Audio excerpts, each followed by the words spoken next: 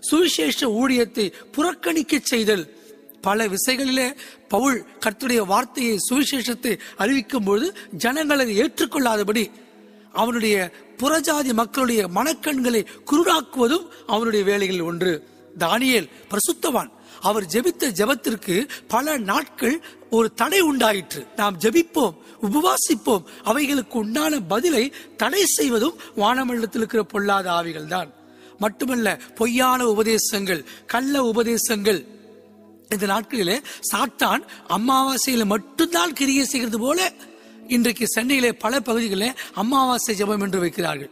ஜெபத்திற்கு நான் விரோதி அல்ல அமாவாசை என்று அந்த வார்த்தையை கொண்டு வரும்போது இந்துக்கள் புறஜாதி மார்க்கத்திலிருந்து வந்தவர்கள் அமாவாசை வேண்டாம் பௌர்ணமி வேண்டாம் கார்த்திகை வேண்டாம் கிருத்திகை வேண்டாம் எனக்கு எதுவும் வேண்டாம் இயேசு போதும் என்று வந்த ஜனங்களை இந்த வார்த்தைகள் திரும்ப குழப்பம்.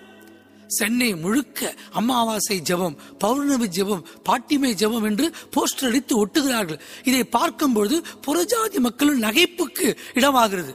என்னையா இப்படி அமாவாசை வைத்து குழப்புகிறீர்கள் என்று கேட்டால் அவர்கள் சொல்கிறார்கள் சாத்தான் மந்திரவாதிகள் அமாவாசையிலே கிரிய செய்கிறார்கள்.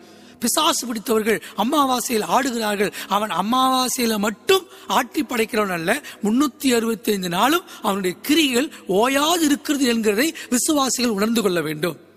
யாராவது ஒருவராகிலும் பரிசுத்தவான்களோ அல்லது ஊழியக்காரர்களோ வசனம் தெரிந்த கற்றுடைய பிள்ளைகளோ ஐயா இது செய்யக்கூடாது என்று எதிர்த்து பேச இன்றைக்கு வசன தெளிவில்லாதவர்களாய் அநேகர் காணப்படுகிறதை பார்க்கிறோம். ஏழை ஜனங்கள்.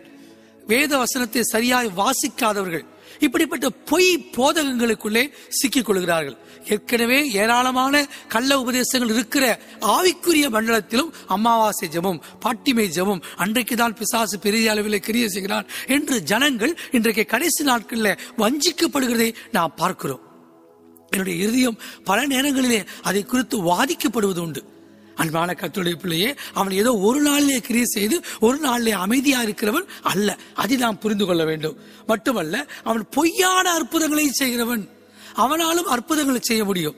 ஆண்டவராலும் அற்புதம் செய்ய முடியும். ஆண்டவர் செய்கிற அற்புதத்திலே ஆத்தும ரட்சிப்பு இருக்கும்.